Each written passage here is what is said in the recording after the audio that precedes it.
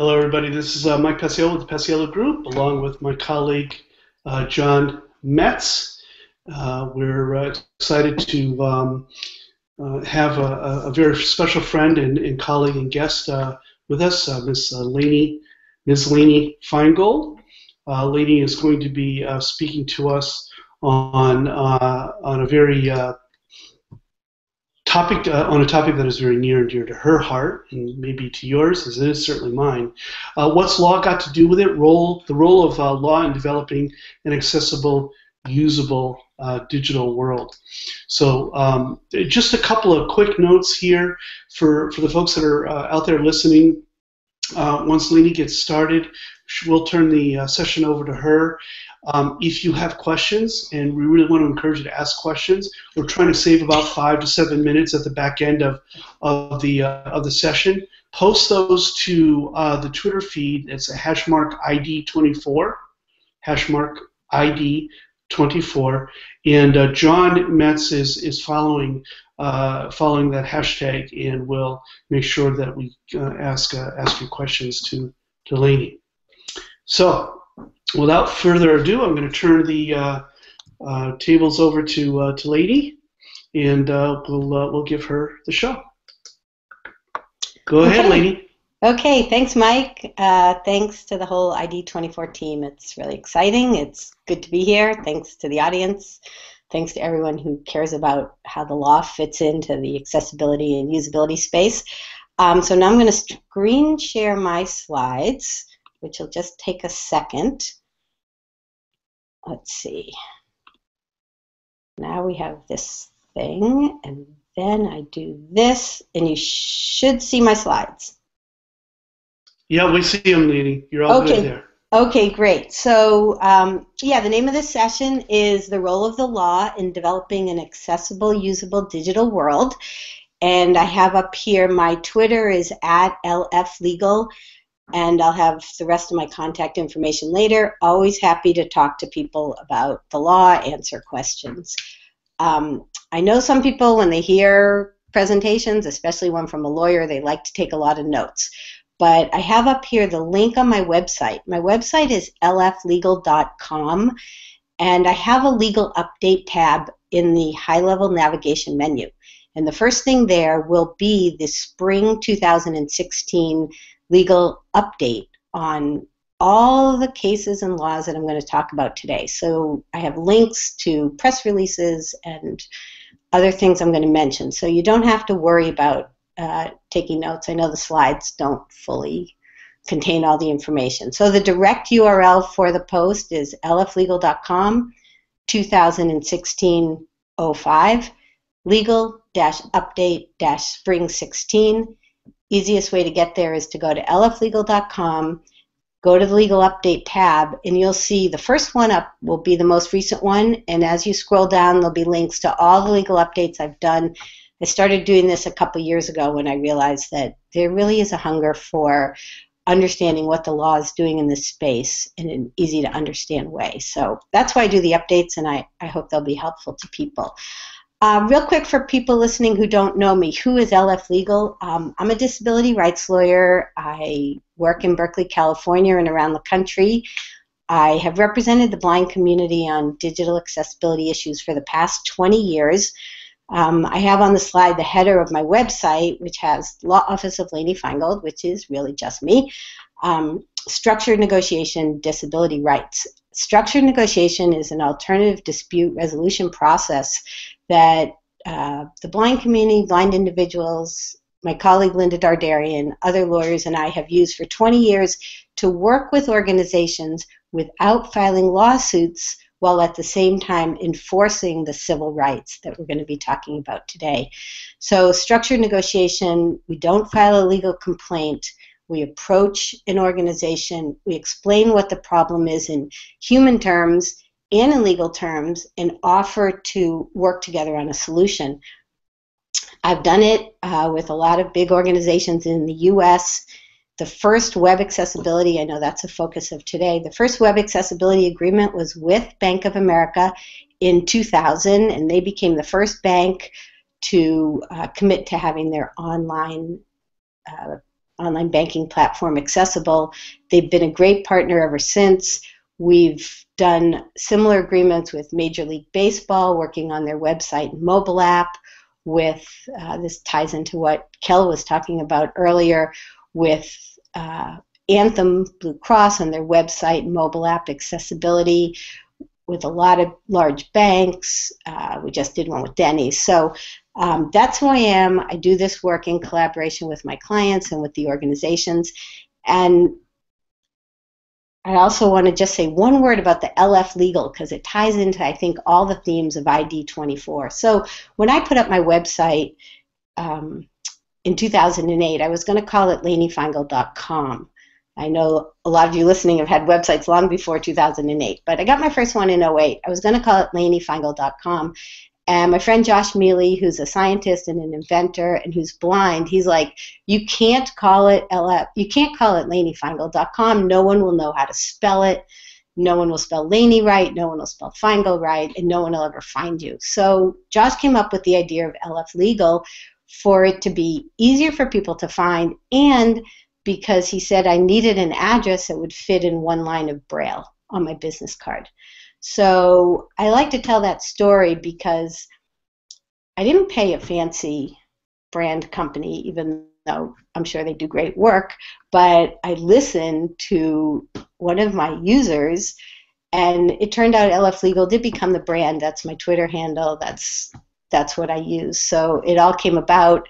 It's cognitively easier for people, and it fits on one line of braille. So um, let's start talking about the law. I'm hoping you're going to leave the session uh, thinking that the law belongs in a place you might not be thinking of. Obviously, the law belongs in a courthouse. The law belongs in a lawyer's office. But I like to say that the law belongs in your back pocket. And I have a picture on here of a pair of blue jean back pocket with some tools in it, a scissors, pen, pencil, measuring tape. Um, and those are tools of the trade. Well, the law has to be everyone's tool, not just for lawyers in this space. Uh, disabled people need to be able to take the law out of their pocket and say, it's my right to be able to use this mobile app so I can find out health information. It's my right to go to a voting website and be able to read about the candidates even if I can't use a mouse or see the screen. So the law isn't just for lawyers. I'm going to try to share with you what's happening in the legal space right now, primarily in the United States. And I hope you'll leave the session thinking, oh, this is something I can take out of my pocket, not just for disabled people. If you're on a team and you're an accessibility champion in house, you most likely are getting pushback from someone somewhere, and the law can be one of your tools. Not the only tool. You notice I didn't pick a hammer to put in the back pocket because the law doesn't have to be used as a hammer um, which is what I think the best thing about structured negotiation is. Um, but if you're a, a in-house champion, if you're an advocate, you can use the law to direct lead people in the right direction. Uh, so the real big picture, if I could only put up one slide and if I had to stop talking right now, the right to accessibility in the digital space is a civil right. And I have a picture here of a march protest in advance of the Americans with Disabilities Act, and there's a banner being held up that says, Injustice anywhere is a threat to justice everywhere. It's a Martin Luther King quote. Uh, the protest is led by wheelchair riders and other people with visible disabilities. They're holding the banner it's an iconic Americans with Disabilities Act picture, and it really is the core of all the rights, all the details, all the structured negotiations, all the cases. Everything we talk about when we talk about the law and accessibility is about inclusion, it's about access, it's about full participation, and it's about civil rights. So let's start with the U.S. Department of Justice, which is the agency in the United States that is uh, responsible for the Americans with Disabilities Act. The first slide, I, I don't really like to put URLs on slides, but this is very important. And I like to say bookmark this. The Department of Justice has a website all about the ADA, and it's ada.gov. And on that website, everything they do to enforce the Americans with Disabilities Act, including very important work to make web, mobile, kiosk technology accessible, is on that page, ada.gov. Two weeks ago, they put up a new uh, subpage of that, which is access technology. So it's ada.gov, access technology. Have a picture of the page in the next slide because there's four top uh, navigations on that page. One is enforcement, one is technical assistance, one is regulations, and one is technology initiatives, all under the main heading of accessible technology. And the enforcement tab is the tab where the Justice Department lists everything that they are doing and have done for well over 10 years to make websites and mobile applications and other technologies accessible. And they put that up uh, two weeks ago, and you can they have on the enforcement tab they have links to every settlement. You can read all the settlement agreements, all the press releases. Um, so that's something in your back pocket. If anybody says to you, "Oh, well, the Justice Department, there's no ADA regulations," you go to this page, you take it out of your pocket, and you say, "Yeah, well, the Department of Justice has been enforcing people's rights to digital access for, I think their first agreement on this was 10 years ago. Um, and the reason they put that page up about two weeks ago is because two days later they did something that is illustrated on this slide with a U turn symbol on a road to nowhere. And that, unfortunately, is the image that came to my mind when two days after they posted this great new page on accessible technology, they announced that they were withdrawing regulations specifically requiring the details of web accessibility. Many of you who are listening know that six years ago, the Department of Justice said, We think we're going to put out some regulations about web accessibility in that document that they put out, they said the ADA already requires website accessibility, but we think it will be helpful to have some regulations. So they put that out in 2010, and now in 2016, they took them back and they put out a new notice, which they call a supplemental, this is all explained in, in the legal update, a supplemental advance notice of proposed rulemaking um, for public sector websites saying they still want to re- they still want to issue regulations, and here's 123 questions. You can read the whole 123 questions at ada.gov, where they're asking the public to help them put out new regulations. So this all happened within the last month. Uh, the regulations they're talking about now have to do with state and local government, there's also another set of pending regulations having to do with private sector websites. Those are also so far in the back burner. Actually, I should have a stove picture. Those they now say are not going to be out until 2018. So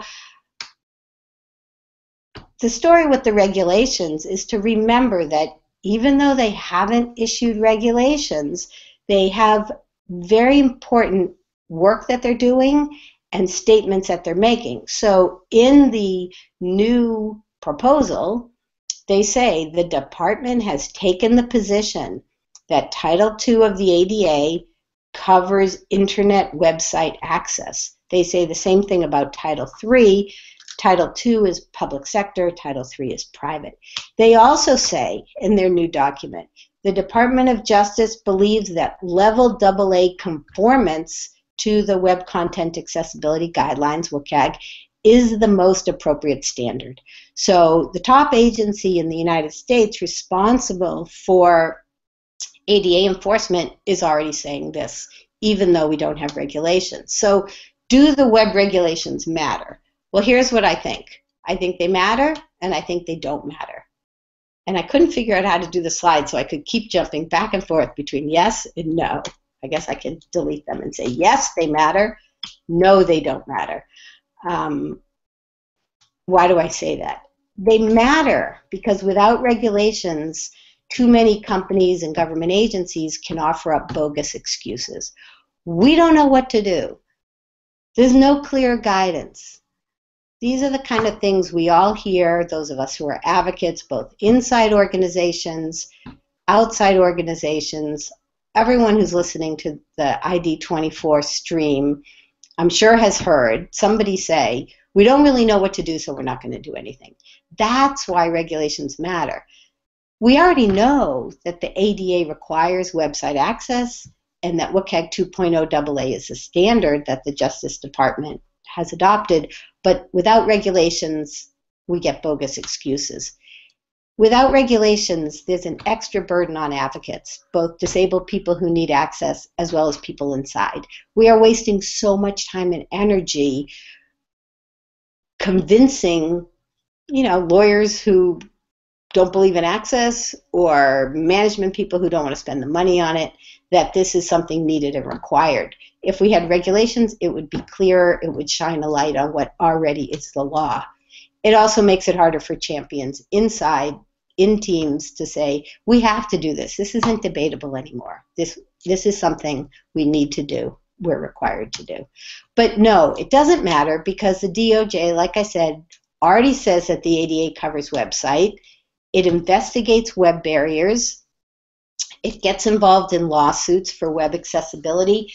Uh, we'll talk in a minute about the lawsuit that's pending against Harvard and MIT for failure to caption all their online content. The Justice Department was involved with that. Justice Department was involved a couple years ago in a case against H&R Block, a private company um, requiring web accessibility. So there's no excuse for looking to the law to say accessibility is not required. Accessibility is required, and this is something I hope will, you know, keep in your back pocket to take out next time someone says to you, well, the law's not clear, we don't know what to do. Um, okay, so those were the AD. We just were talking about the Americans with Disability Act regulations for private sector, public sector websites. Um, there's other regulations. We're also waiting for Section 508, which many of you listening know is the federal procurement statute requiring accessible uh, technology and information purchases by the federal government. Many of you have been involved in a, you know, one decade plus effort to so-called refresh the 508 guidelines. Uh, they haven't. I'd like to say there's the process is stale. The process to refresh is stale. The Section 508 regulations are currently scheduled to be final in October of this year. However, October of this year is one month before the federal election in the United States. So I am I would not bet money that we actually will get the 508 regulations. Um, somehow the airline regulations are in effect and working in the United States. Airlines are not covered by the Americans with Disabilities Act to the most, you know, to the most part, and they have their own law called the Air Carriers Access Act. That law has a requirement that airline websites be accessible and usable, has great language about usability testing. Those regulations are final. I know many of you in the audience are working on implementing those. I think the deadline was originally last December. It's now uh, coming up coming up this June. So that's an example where regulations have worked. And again, it's the federal government in the U- U.S. and they have in that airline regulation statute uh, WCAG 2.0 AA as the as a standard. Um, okay, so the civil rights laws are in your pocket. We have the ADA. We have Section 504, which which Molly mentioned yesterday, which is about federal money anything that federal money is being spent on needs to be programmatically accessible, which of course would include uh, web, mobile, and technology. Most states have what they call Little 504, so when states spend money, that's another place where the law is coming in to say things need to be accessible. In addition to 508 for federal procurement, we have the Little 508s in every state for state procurement. We have the Convention on the Rights of People with Disabilities, which uh, the United States Senate hasn't ratified, but I think over 175 countries, I don't have the count right with me, have ratified, and it's a really great potential tool for bringing uh, civil rights out of the pocket into uh, the digital experience of people around the world. There's a section that specifically talks about information and communication systems and technology. And of course, outside the US, a lot of advocacy is going on in the legal space. The AODA in Ontario, the new EU directive, the new Japanese disability law. Um, so, whatever your country, and I'd really welcome people to tell me uh, by email or on Twitter. I do have a post on my website where I try to keep up with the international law. I'll put the link up on Twitter after this. Um, but I'd feel more confident to hear from people in other countries about what's going on in their countries. So, using the tools, those are the civil rights laws, and I want to spend the rest of my time talking about how those tools. I have another picture of another pocket with paintbrushes and a screwdriver and a glove. I don't know if that's a screwdriver, it's some sort of tool. Um, because laws are only as good as the advocacy that makes them real. Otherwise, they're just words on paper. Um, so we have the civil rights laws in the United States. We have the Justice Department enforcement, and we also have private advocacy that is bringing the law to life and making it a reality for disabled people.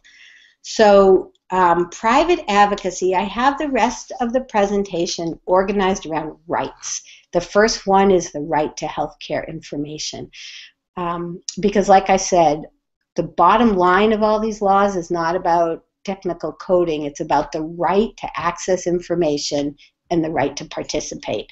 So there is a legal effort going on in the healthcare space to make uh, digital web mobile technology more accessible. I really hope I get to talk to Kel Smith after this because some of what he said overlaps with what's going on in the legal space and what could go on in the legal space. Um, the first up I have here, Rite Aid and Humana. I've been working with the American Council of the Blind and blind individuals around the country on talking prescription labels. Uh, unbelievably, in 2016, people who can't read a standard prescription label often get medication with no accessibility. They get a print label that they cannot read, they cannot see, and we've been working on an initiative to bring talking prescription labels to the nation's pharmacies.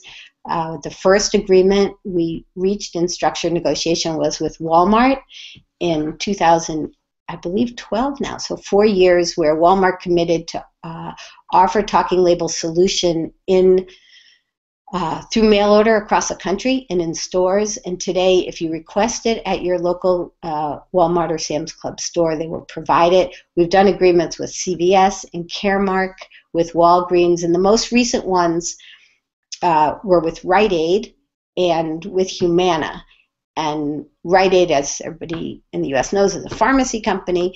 Humana is a, a health insurance company that also offers a uh, pharmacy benefit service.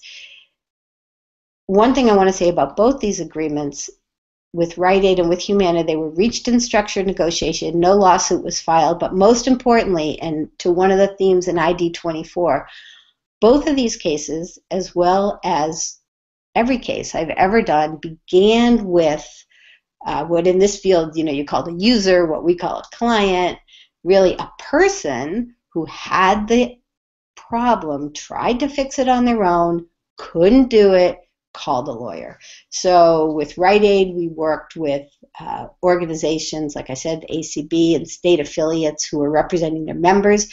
Humana started with three Humana customers around the country. One was in Nevada, one lived in Georgia, one lived in Florida, and they all came to me independently, unable to access their medication equipment.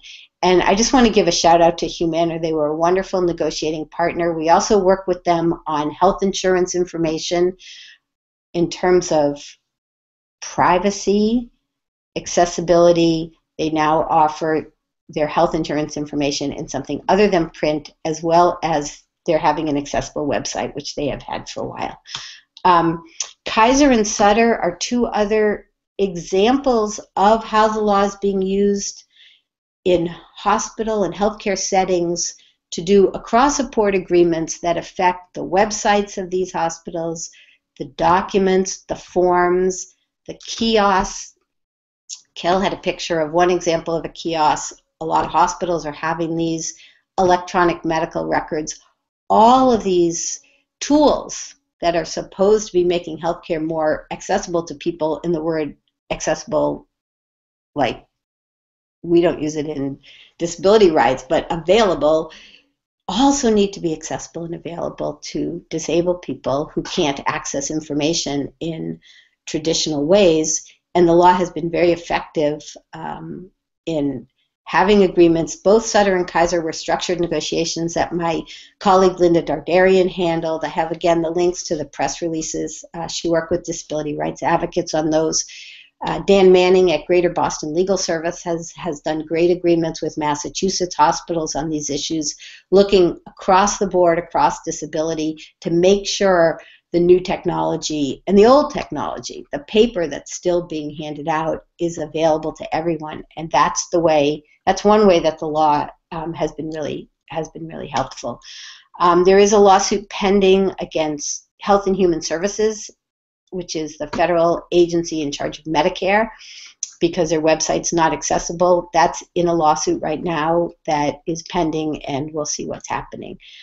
Um, one thing I wanted to just say about access to healthcare, the law hasn't gone gone here yet, but I was thinking about. I usually mention this, and I was thinking about it especially with Kel's presentation. Um, we have wearables, we also have ingestibles. And I like to use that example when I'm speaking because you can swallow something that will give a readout to your doctor's phone and your phone about what exactly is going on inside your own body. And, you know, I started in this field 20 years ago about access to financial information, which everyone understands has to be confidential and private and available well, what could be more important to be accessible than information coming literally out of your own body through a piece of technology that you've ingested?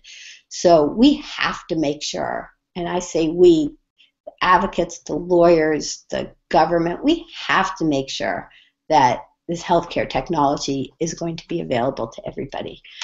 Um, financial information, like I said, that's where I got my start. I worked with the blind community on making ATMs accessible before there were any ATMs that were accessible in the world. And that's how structured negotiation started. Um, I have written a book about structured negotiation that is coming out this fall that the American Bar Association is publishing.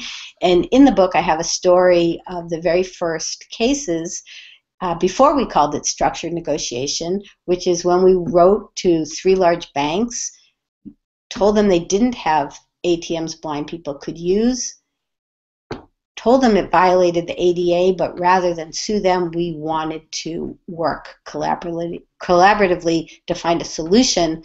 Those ATM cases were successful. They led to our working with most major banks on their web accessibility, uh, I think the financial industry is a leader by and large. Not everything's perfect, of course, but um, in working on accessibility, uh, most of the big institutions have have accessibility teams, and it was great to go to Access U this year, Knowbility's conference, and a big financial company said to me, Oh, yeah, we started working on Access when Bank of America insisted that all their third party vendors build accessibility in because of the first agreement that we did back in 2000. So, um, our most recent work in financial information is an agreement we just did with Bank of America, who's been a great partner all along to make their mortgage information accessible again, like all of this work, it starts with the user. It starts with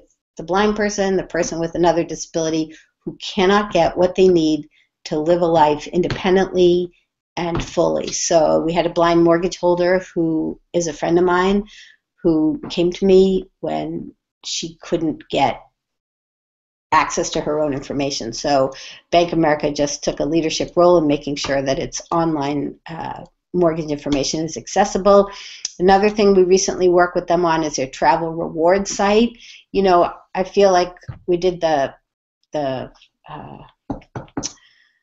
online banking platforms in 2000, and this is like my. I'll talk in a minute. And Mike mentioned earlier about baking accessibility into the DNA, which Bank America has done. Um, occasionally things fall through the cracks, and this travel reward site was one of them. Again, I got a call from a woman who couldn't book her flight, figure out her miles. So it's not just the big high level, can you, you know, check your account balance, but it's everything that the institutions are offering that disabled people have a right under our laws to get private access to their financial information. Um, okay, I am going to somewhat talk a little faster, even though I think I'm talking pretty fast as it is. Um, okay, right to work. Really important area, an area where the ADA has not lived up to its promise. Uh, in 2016, you can't talk about the right of disabled people to work without talking about the right to digital access. There was an important trial that the National Federation of the Blind uh, was successful in in Maryland.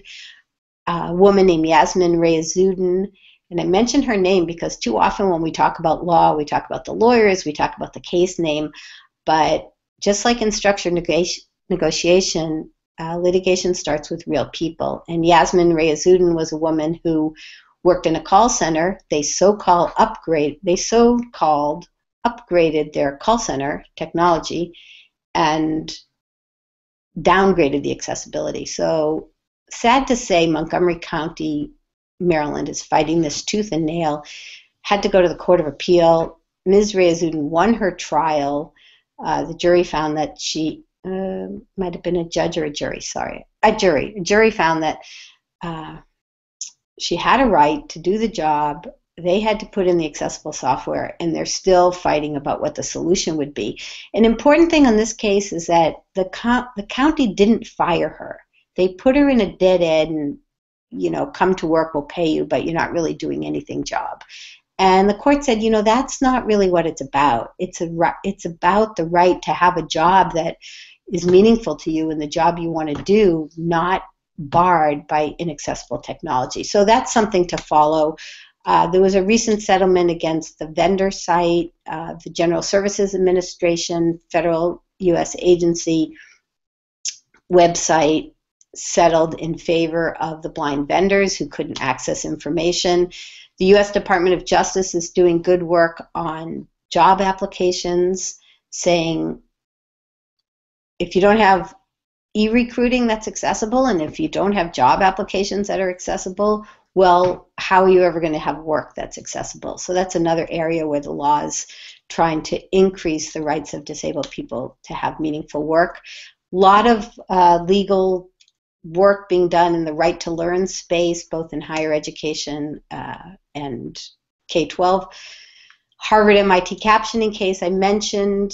Uh, again, I don't understand why this is a fight. Harvard and the National Association of the Deaf filed a lawsuit. Harvard and MIT hired a lawyer to try to get the case thrown out of court. Magistrate judge refused to throw the case out of court. Again, all of these are linked in my in my update. Um, they're still fighting it. It's something that we're watching. The New Jersey Community College, I also have links in the update, is a good example of work that the National Federation of Blind has done on college campuses, not just looking at ebooks, not just looking at websites, but across the board, what does a student need to be successful? They need all information and technology uh, to be available to them. Similar work is going on by advocates for deaf students. There was a recent, recently a great, very hard fought case where a college refused to, a medical school refused to give a deaf student what he needed to be successful, and had he had a successful court case, went up to the Court of Appeal, had to have a trial. Again, uh, National Association of the Deaf and a private firm called Stein and Vargas did a great job. And that guy, whose name is Michael Argenyi, he just finished med school. He just graduated last weekend. So uh, the law is really having an impact in the education setting. It, it's depressing to me that there still needs to be these fights and these lawsuits. Um, there's a new lawsuit against the bar prep course uh, called BarBri, uh, brought in Texas by blind students who couldn't have access to the material that they needed. So that was just filed. We'll see what's going to happen with that. And just to note that the Department of Education, as well as the Department of Justice, gets involved in these cases and is using the law favorably.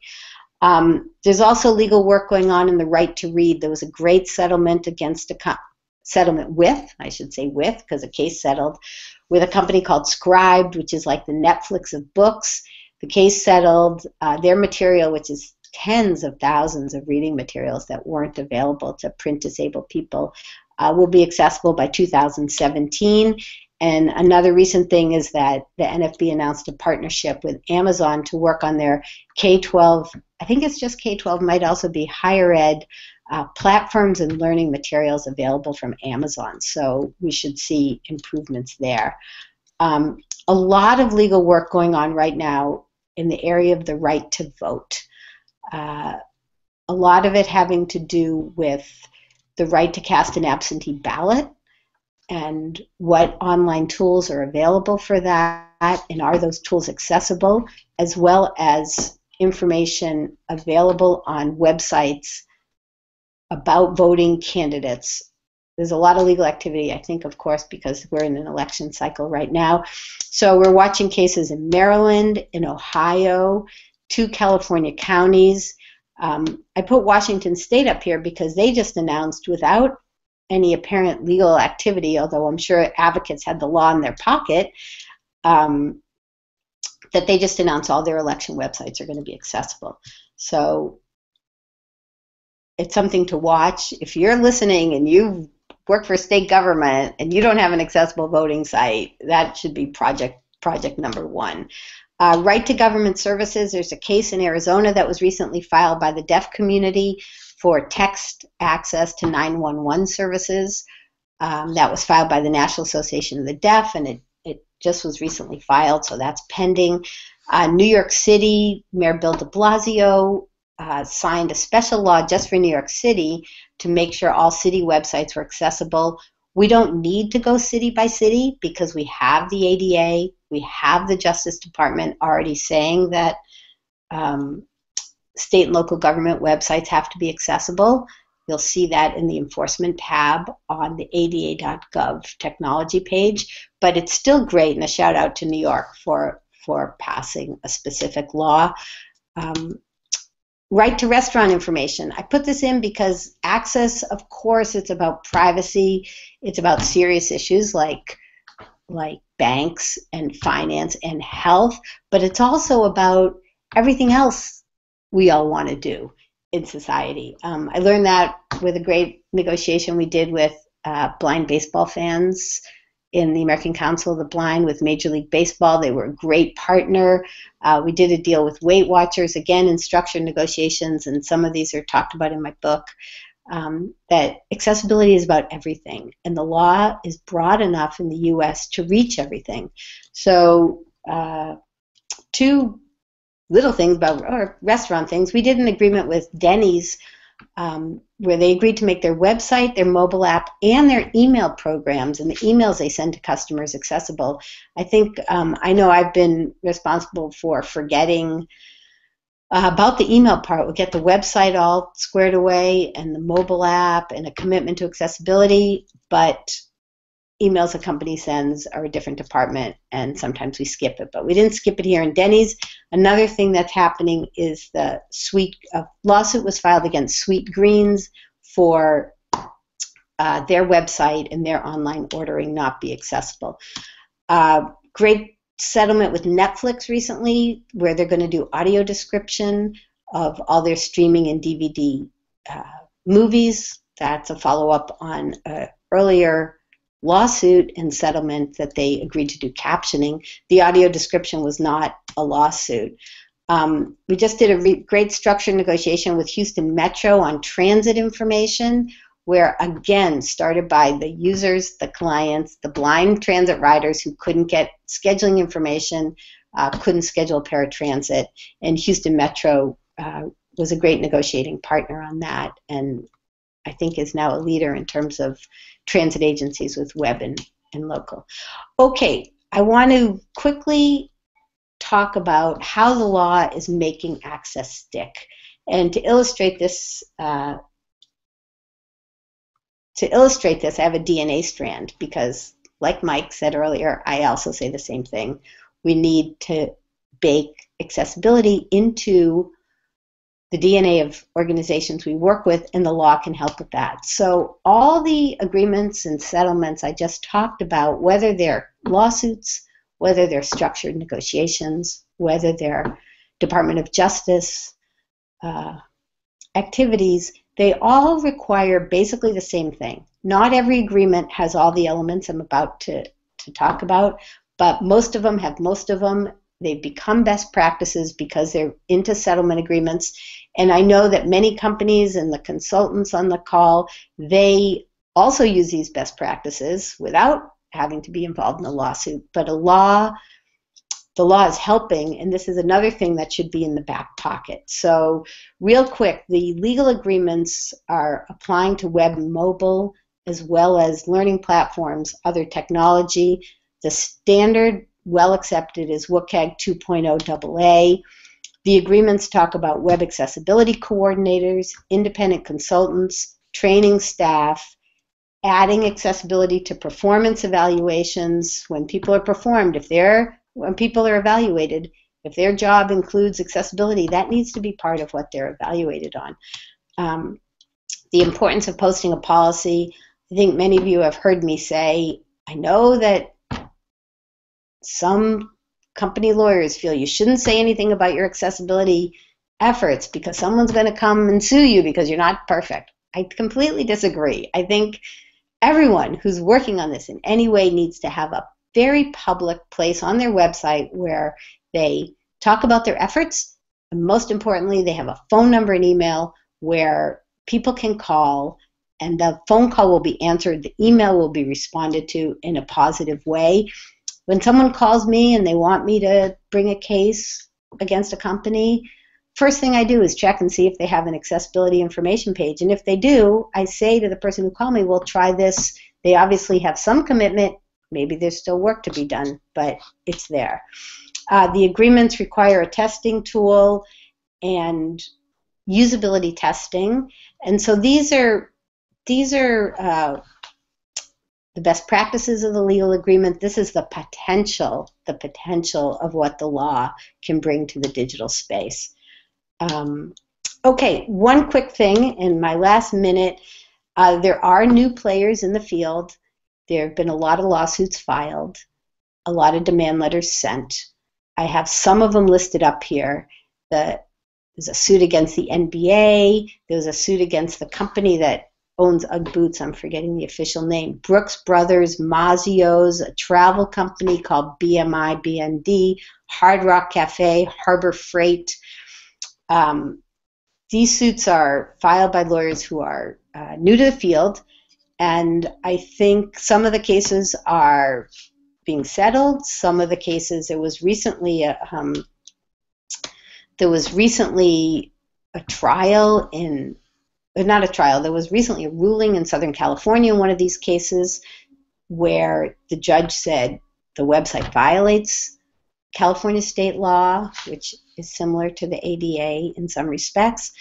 Um, the claimant got the plaintiff in the case got awarded damages. So I think with all these pending lawsuits, people are always asking me, "Well, what do you think? You've been in it for 15 years," and um, you know, we have to wait and see. We have to wait and see. Uh, the best practices that we talked about, those need to be incorporated. We need to see if the websites, the mobile apps are really going to be accessible as a result of all these new lawsuits?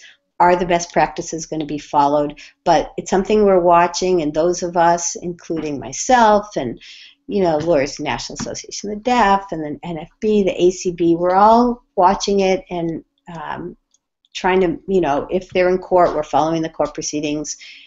making sure things still keep going in the right direction, which is where they have been going for, for many years. So I have a stay up to date slide to end this, so we have some time for questions. Um, I'm on Twitter at LF Legal, like I said, thanks to Josh Miele. I have a great brand. Um, I do have an email list. Uh, you can write to me at lf at lflegal.com.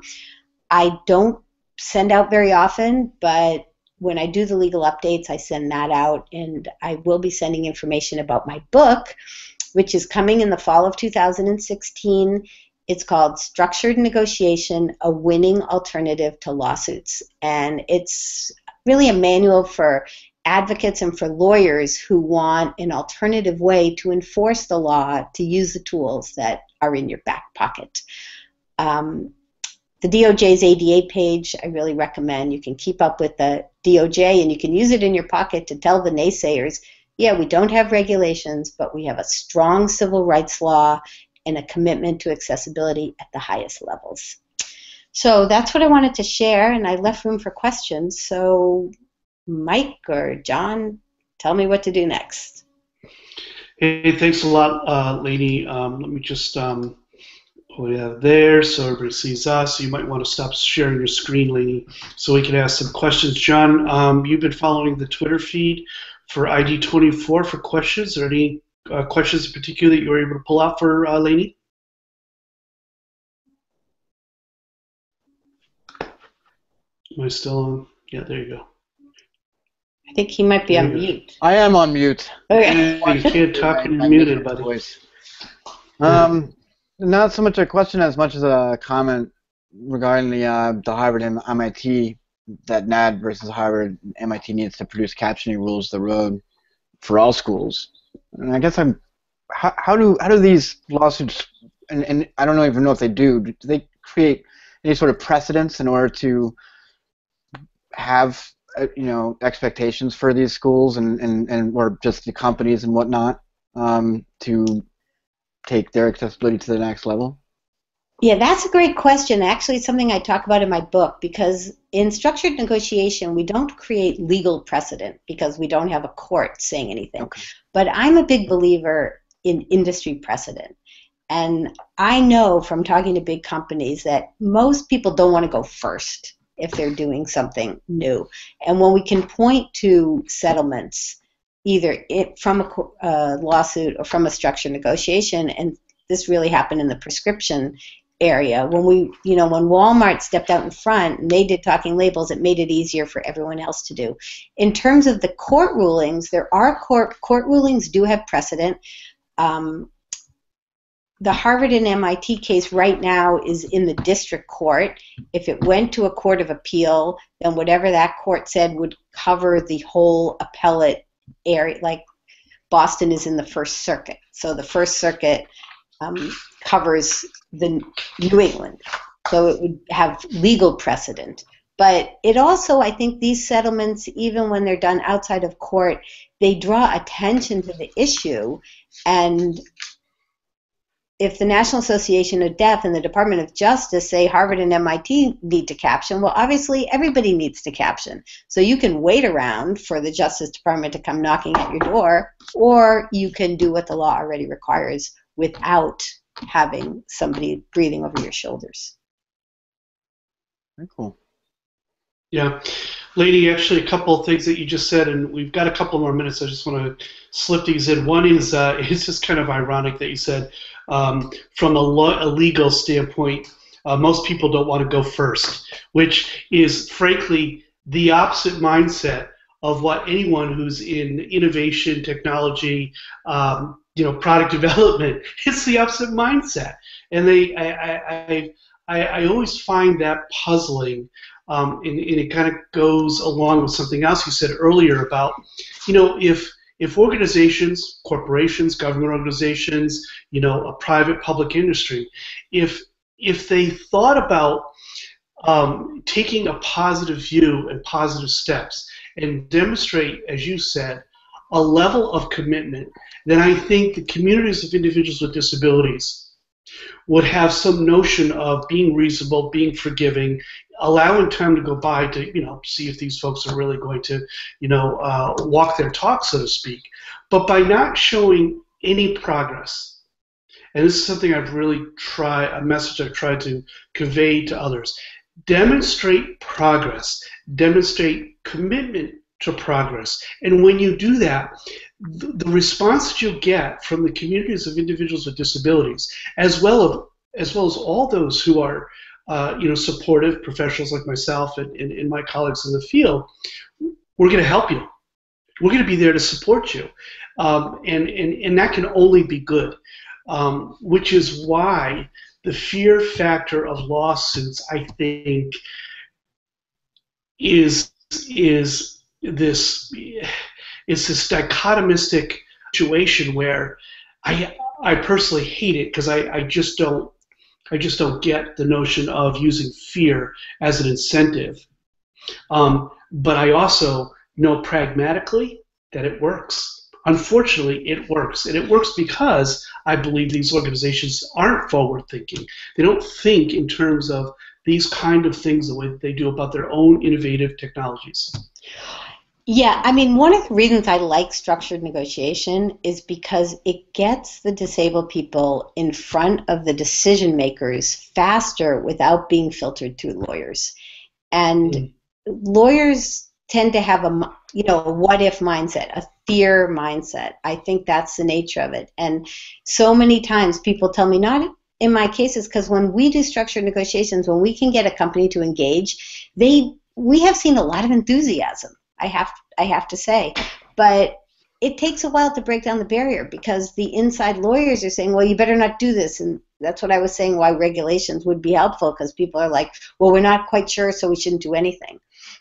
I, in writing the book, I talk about how fear has been a barrier to so much of what we've tried to achieve and how we've used structured negotiation to break that down.